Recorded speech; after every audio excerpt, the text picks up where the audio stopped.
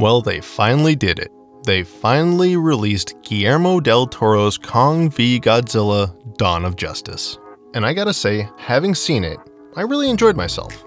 I mean, based on my trailers video, it's no secret that I'm always hyped for a giant monster fight, and I love both of these monsters, so I was particularly excited for this specific monster fight.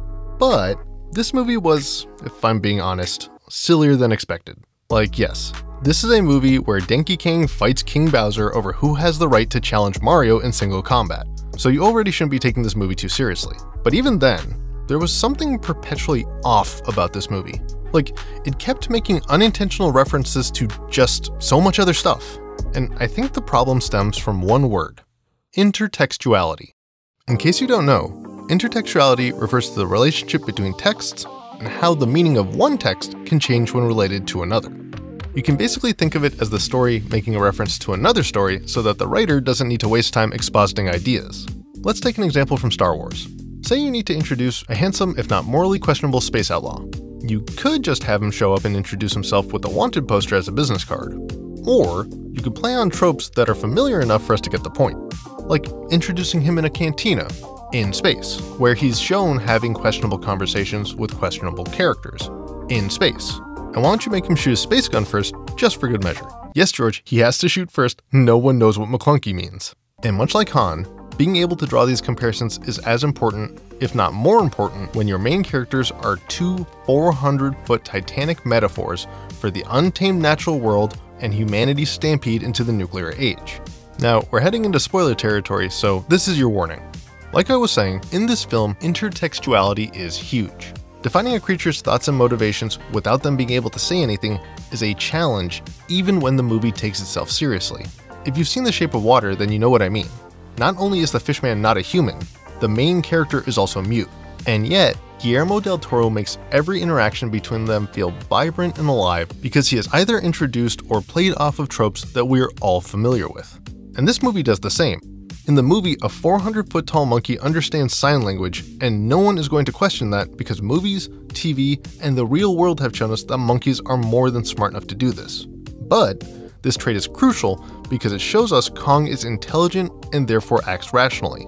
Meanwhile, over the course of two other movies, it has been established that Godzilla isn't malevolent. He never attacks unless threatened, and even if you didn't know that, you'd understand that most animals aren't naturally eager to pick a fight when they don't have to. These simple ideas help characterize Kong's intelligence, Godzilla's behavior, and the mystery of why these 400 foot titans are suddenly so keen on fighting when they don't have a logical need to. But here's the thing about intertextuality it needs to serve a purpose to be meaningful. Otherwise, you're just making references that can distract from the film. For instance, in Star Trek Heart of Darkness, Benedict Cumberbatch says, My name is Khan. And justifiably, Chris Pine is confused because he has literally never heard of this person before. We later find out who Khan is, but unless you watched a different, better Star Trek movie from 30 years earlier, this scene would fall flat for you, just like it does for the characters. And this is the core of the problem with Godzilla vs. Kong. This movie is fun, and it doesn't take itself too seriously. I mean, Godzilla literally fires a laser to the center of the Earth just so Kong can fast travel to fight him. But even then, this movie starts making references that, despite the premise of the movie, just come off as silly. How do we show that the Hollow Earth is both naturalistic and alien? Just rip off the floating space rocks from Avatar. Kong needs a secret weapon to beat a radioactive lizard god? He needs the axe. How do we show Kong is king? Have him sit on a literal throne in the middle of a volcano at the center of the Earth. What about telepathically controlling a 400 foot robot and then having it go rogue? Well, fortunately, you have two Pacific Rims to choose from. And then, my favorite Kong and Godzilla have been fighting this whole time. How do we make them bros? It's super simple.